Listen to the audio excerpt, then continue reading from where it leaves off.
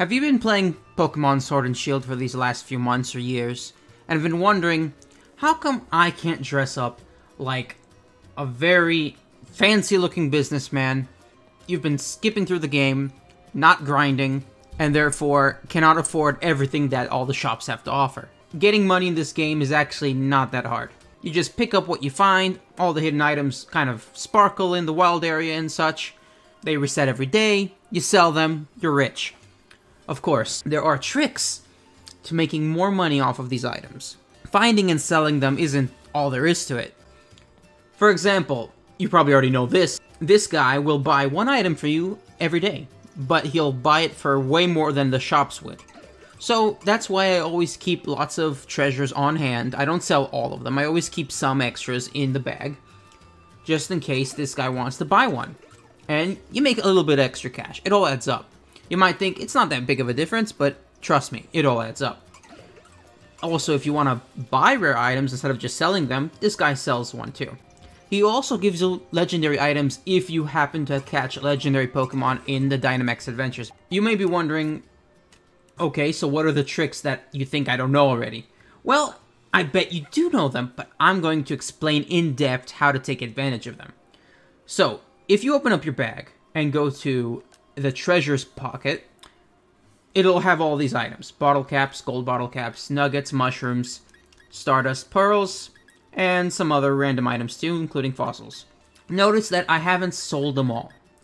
One reason for that is because I already have plenty of money. You can see there I have over 3 million Poke, and I have nothing to spend all that money on. That's how rich I've become without even meaning to. Of course, some of that money is for winning tournaments and winning battles, but also a lot of it is from using these tricks. And the main focus of this trick is the Cramomatic on the Isle of Armor. But we'll get to that in a second. First of all, I'd like to remind you that in order to take advantage of this, you need to have as much treasure gathered as possible.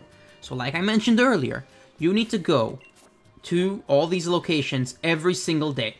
The wild area, which spans all the way from Hammerlocke in the north to Motostoke in the middle, to Meetup Spot in the south. Go around it once a day. Go to all your favorite spots. To go around on your bike, just round and round. Find all the hidden items. With practice, you will learn where all the good items are. You could even skip the poor items and go straight for the rare items. Of course, the chance of them spawning is random, but I have found that in some places you will very often find the really rare items. I'm saying, I'm not just talking about tiny mushrooms, I'm talking about balm mushrooms. I'm not just talking about pearls, I'm talking about pearl strings.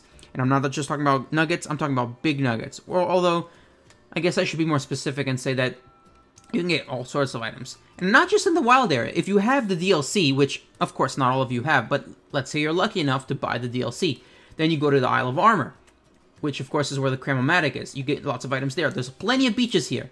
The Challenge Beach has lots of pearls. The Training Lowlands has a beach. The Fields of Honor has a beach. Beaches are full of stardust and pearls. That's where you get them. Of course, the water is full of feathers. If you want to gather feathers, that's for, you know, different purposes. Caves and forests. They have a lot of apricorns and a lot of stuff. Now, here's another trick. And I'll explain later why you need to gather as many apricorns as possible. And I'm not just talking about for making Pokeballs. And of course, the final DLC was, of course, the Crown Tundra. Up here in the Path to the Peak and the Snowslide Slope, you will find a lot of experience candies. Down here in uh, Dyna Tree Hill, you'll find a lot of apricorns.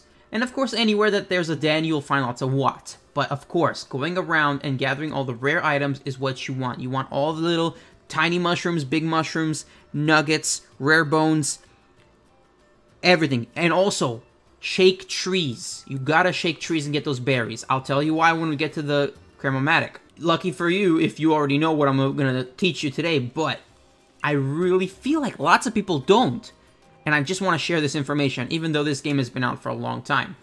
So, like I was saying, once you go every single day around all the areas, get familiar with everything you're going to doing, you got to gather all that treasure that I talked about.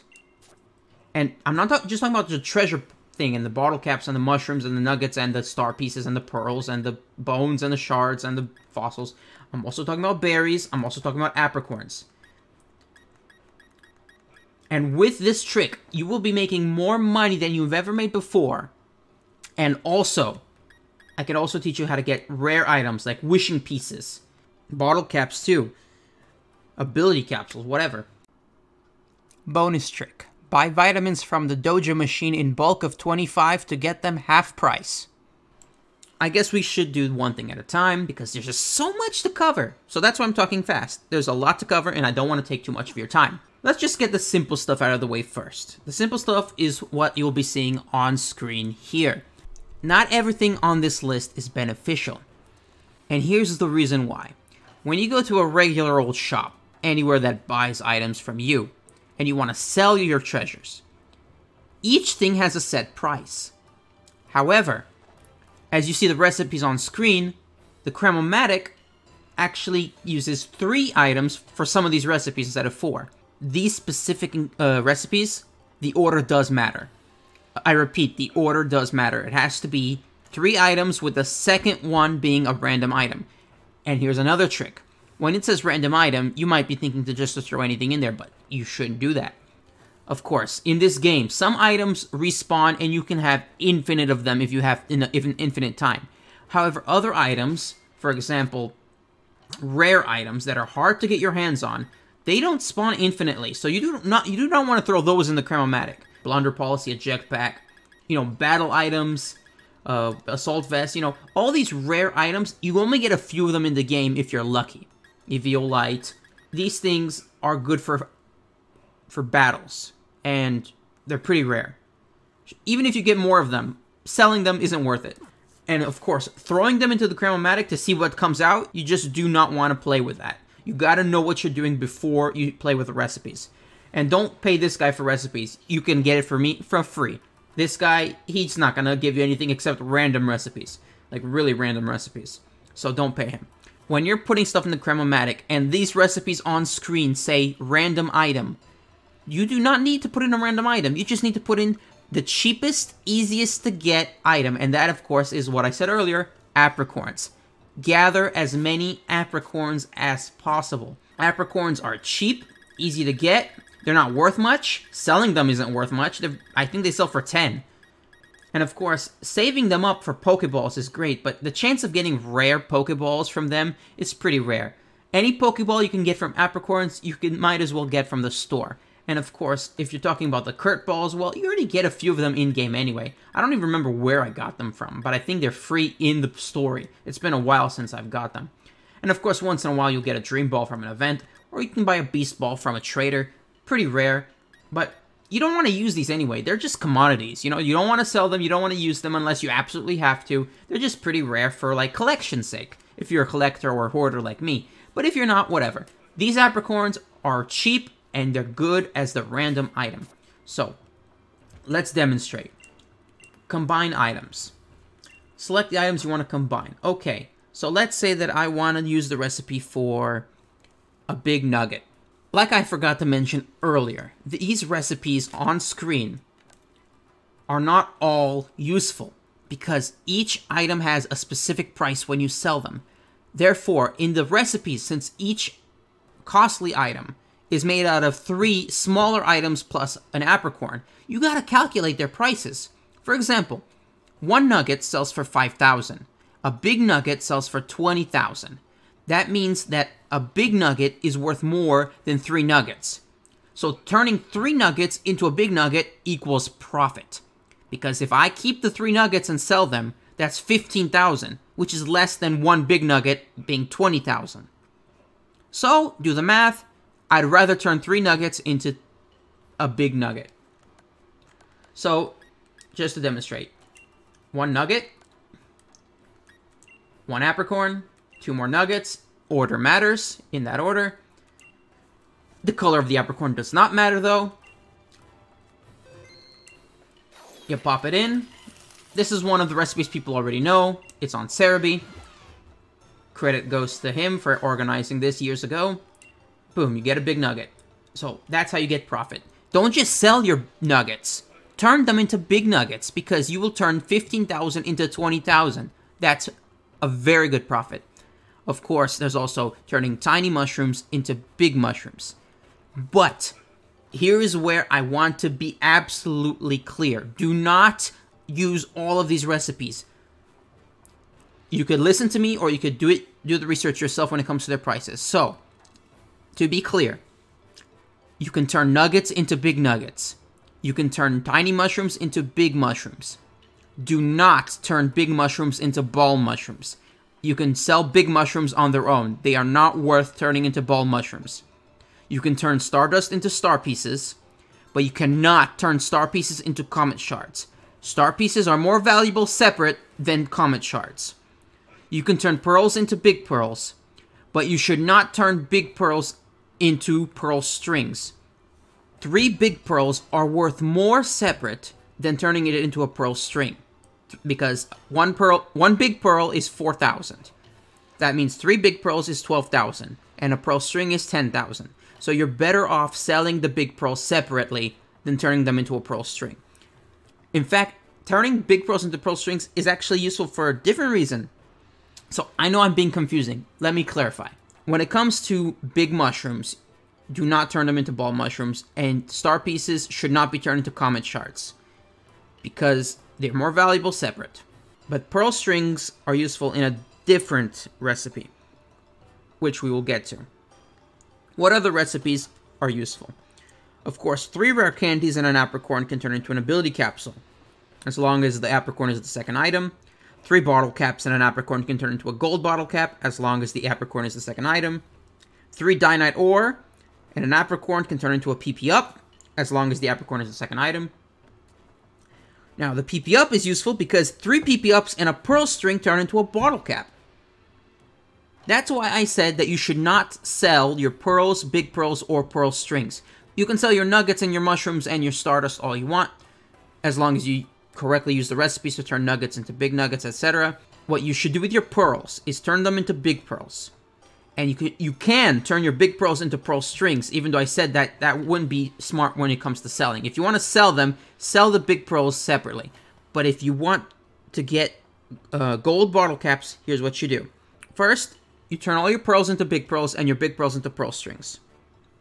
Then you gather up as many pp ups as possible now here's the thing do not waste your dynite ore to turn to turn them into pp ups i mean unless you absolutely have to but it's not worth it Dynite ore are much more valuable without turning them into PP ups. PP ups can be gathered around the game. For example, the Loto-ID here at the Rotom.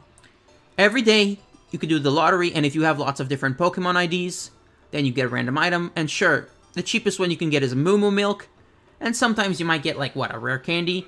Don't count on getting a Master Ball, though. Those are too rare. But the most common item I get is a PP Up. So I already have, like, over 50. That means that because of the recipes on screen, since three PP ups and a pearl string turn into a bottle cap, and three bottle caps and an apricorn turn into a gold bottle cap, that means you can get gold bottle caps for the price of just nine PP ups and three pearl strings each. That's right, nine PP ups and three pearl strings equals one gold bottle cap, and gold bottle caps are valuable.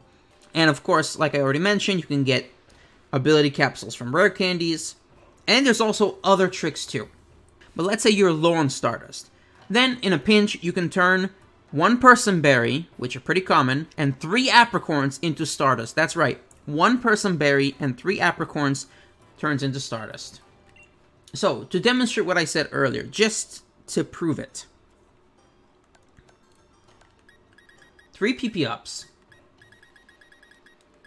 one, two, three PP ups, and a and one pearl string.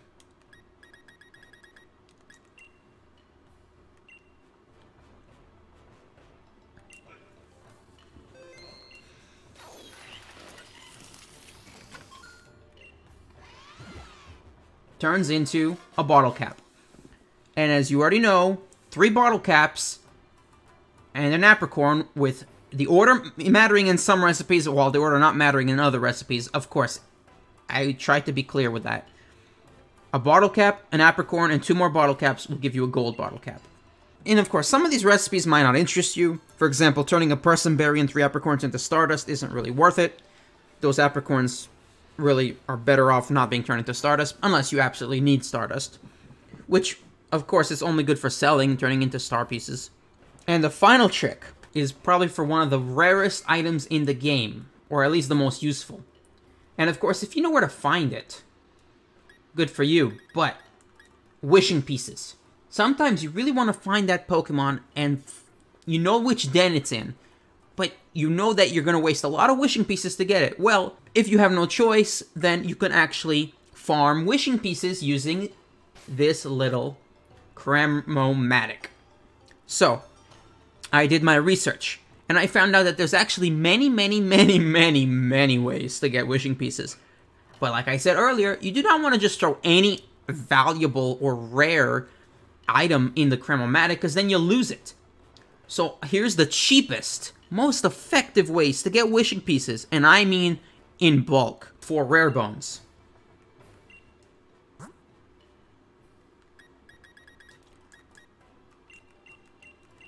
Rare bones, of course, are in the name rare, but if you know where to find them, they should give you wishing pieces.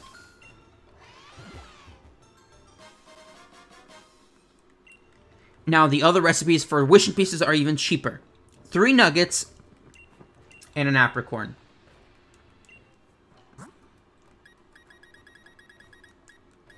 Of course, I'm low on nuggets, so I'll show you three big mushrooms. Three big mushrooms and an apricorn also give you a wishing piece. I do not think the order matters in this case. Reminder, this is the cheapest ways I could find to make wishing pieces in bulk. This one works.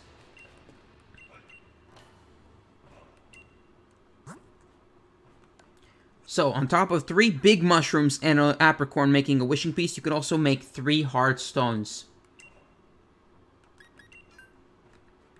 And an apricorn. Hard stones are actually pretty common, if you know where to look. Caves are full of them. So, as you can see, I have plenty of hard stones. Three hard stones. And this apricorn should give me a wishing piece.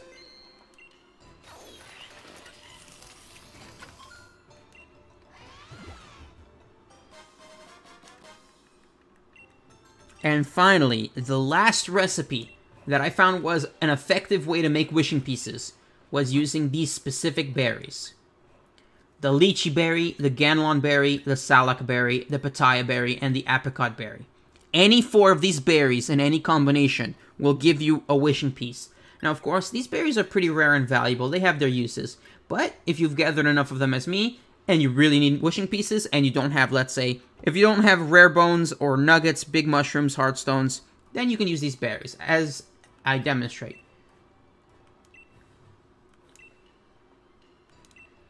Any combination works, but I'm just using the Petaya berry because I have the most of them and I don't want to run out of the others. In any combination, these four berries turn into wishing pieces.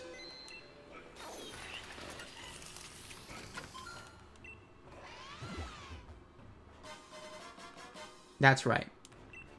And before I forget, if you find that you're not getting as many apricorns as you need from shaking trees, or you're getting tired of it, don't forget, the girl that you find around the Isle of Armor sells apricorns for just a few watts. For 100 watts, she'll give you 4 apricorns, and if you travel around, you'll find her many, many times every single day. Remember, the girl in the blue shirt sells apricorns, not the girl in the white shirt. She just trades regional variants. And, of course, PP ups are most easily found from the lottery every day. Of course, it'll take a long time to gather enough, the best way to get gold bottle caps is with three bottle caps and an apricorn. And the best way to get bottle caps is with three PP ups and a pearl string. And of course, even if you don't want to go around on beaches and get all the free pearls and big pearls that are there, there's also a guy in the Crown Tundra village that sells big pearls. Although buying it from them is not worth it, in my opinion. You'll be able to make as much money as I did by farming this Cram-O-Matic. If you really want to farm money, this is one of the fastest ways to do it. Or you could just battle the, the tournament, I guess. But I find this way is pretty good. I mean, I have so much money. I have more treasure than I actually need. Look at this. It's like ridiculous. I've been going around to every beach, every cave, every forest, round and round, the whole wild area, every single day for months. many days I didn't even play the game. Imagine, I could be like way richer if I did. I don't even need this much money. I don't have anything left to buy. I bought all the clothes. So yeah, if you actually want to buy all the clothes, I suggest you use this method. Thank you guys for watching. I will be looking for more advice to give in the future. I hope I didn't forget anything because putting this together actually took a long time, but it was enjoyable. Uh, consider checking out other videos on my channel. I hope I'll be making more videos like this, so thanks again, and I'll see you next time.